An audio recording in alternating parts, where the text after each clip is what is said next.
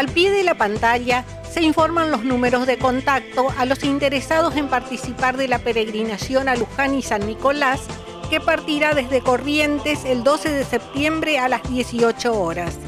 El valor del tour incluye dos noches de alojamiento.